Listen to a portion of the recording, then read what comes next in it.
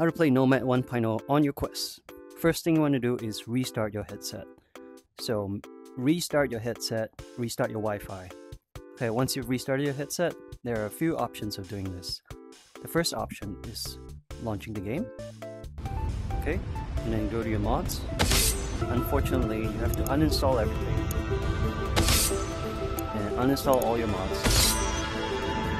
Okay, when you're done, close the game. And launch it again and it should work. Option 2. Click on the three dots here.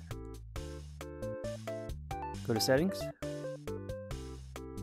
And then here, under release channels, make sure you're on live 1.0 default. You can't be using scripting. No, no. Live. You have to be on this one. And close this. And three dots here. Update. Now it will update to 1.0. Just let it load, let it download.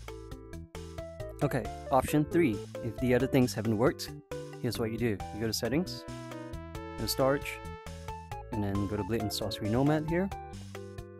And then click clear app data and then press clear. And then restart. If this still doesn't work, then worst case scenario is you uninstall the game.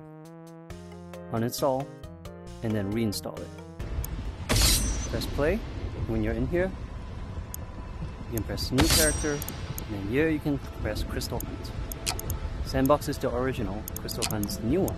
It's up to you.